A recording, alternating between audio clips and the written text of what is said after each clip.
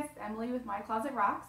Um, today I'm actually a little excited to get a fake bag for once in my life, um, which happens all the time, but it's rare that I get one that is the same style um, and brand as I, an authentic one I have on hand.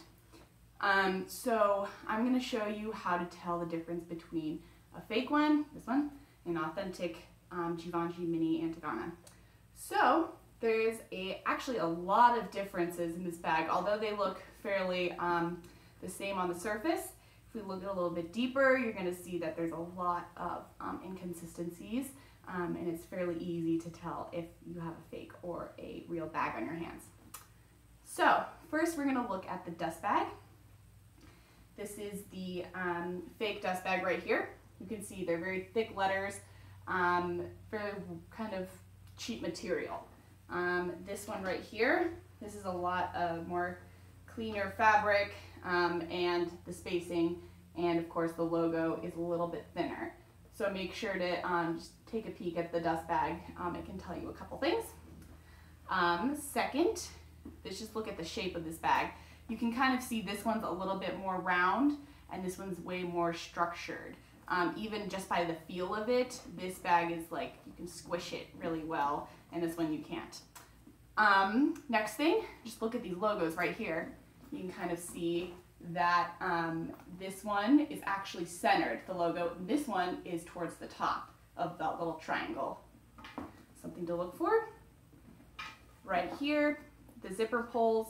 Um, we've actually got a very kind of cheap plasticky um, zipper pull and it actually has a number on it, which I think, you know, it makes it look more authentic, but it's actually not supposed to have a number. This one doesn't. This one's definitely more of, um, it's a smooth silver uh, zipper, and this one actually has a line going through it, which shows that it's not um, an actual Givenchy um, classic zipper. Underneath, and these pictures will also be in my blog post because I know it's hard to show these on camera, um, we'll have an engraved um, logo underneath here. This one actually has it printed on. They look very different. So always check that. Also, we're going to look at these um, straps. And this actually has a little metal piece on it to keep this um, strap piece um, together. That's not supposed to, they're just supposed to be plain leather, if you can see on this one. Um, also, this strap is not detachable. This bag was made to have a detachable strap. As you can see on the authentic one, it's gonna have a little dent right here and then a little opening. You're able to pull that off if you match those up. This is just, it's on there forever. Um, you're also gonna look at the logo on the side. Every um, Antigonas, they all have the little logo on the um, strap. Just because it has it doesn't mean that's authentic. But this one is a lot thicker, um, a lot bigger, this one's thinner and it's way more clean, easier to read. Next, we're gonna look at the screws um, that have these little pointy guys on them. Notice that these screws are, um, or these little pointy things, this one is twice, almost twice the size as this one. Behind, we've got basically the same size screws. These should be, um, have one line going through them. And yes, it does, but this one has a lot more of a cleaner line. Um, this one is kind of wide and rounded. It's a little bit odd looking. Next, of course, you always want to check the serial number. So, both these bags, this being a like relatively good fake, has a serial number inside. So, first things first, when I uh, looked at this bag and I got it, I noticed that this tag right here is actually twice the width of my authentic one. You can see that. Underneath, the serial tag um, so the serial number, it's going to be a combination of letters and numbers. Um, this one actually only has six. It's supposed to have seven, and this one has seven. So actually, just I know it's like a simple thing, but make sure they have the correct amount of characters.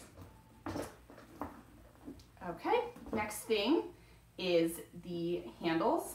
This is actually, you can actually tell just by looking at it, these have longer handles than this one. So if um, that's actually a really common mistake on a lot of um, mini bags is the, the um, structure and the, the size are totally off. You can also see here, stitching detail. This is a lot more round. This is a lot more structured and angular um, on the little handle base. Um, and you can also see the difference in the stitching. This has a more of a uh, kind of diagonal, more machine made. This is more hand stitched looking um, and more straight. If we look at the bottom of the bag, it's pretty much the same, so it's hard to tell from that. Um, and that's pretty much it for um, telling the difference between these two. As you can see, there's just a lot of little details and it's kind of hard. So if you guys have any questions um, about authenticity of a bag you bought or anything like that, feel free to contact me. Um, go on my website, www.my-closet.rocks. This bag is actually for sale, super cute and great for every day. Um, let me know if you have any questions, leave me a comment. Thanks for watching guys.